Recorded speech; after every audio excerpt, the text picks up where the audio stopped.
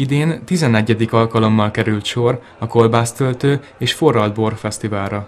A rendezvényen 40 csapat indult az első helyért, és közel 700 főnek terítettek a sportcsarnokban. Ez a rendezvény 2006-ban volt az első, tehát nem mostani.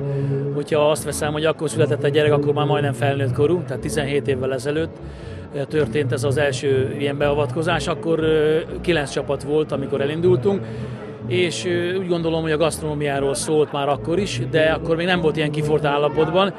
Ez a 11. alkalom, 18-ban volt a legutoljára, ez azt jelenti, hogy 5 évvel ezelőtt rendeztük meg utoljára ezt a rendezvényt. A sátorban több zenekar biztosította a jó hangulatot a nap folyamán, a sportcsarnokban pedig a legkisebbektől az idősebb korosztályig mindenki talált magának elfoglaltságot. A versenyen fontos kritérium volt, hogy a húst kizárólag kézi erővel lehetett darálni, hiszen igyekeztek ezzel is a házi kolbászkészítés hagyományait megőrizni. Ez a rendezvény két évente kerül megrendezésre, és 20-ban lett volna ez a rendezvény, de akkor tudjuk nagyon jól a pandémia minden, de mindent keresztül húzott, és aztán eljött a 2022, amikor tavaly viszont a sportcsarnokot, művelődési házakat, intézményeket kellett bezárni a gazdasági válság miatt.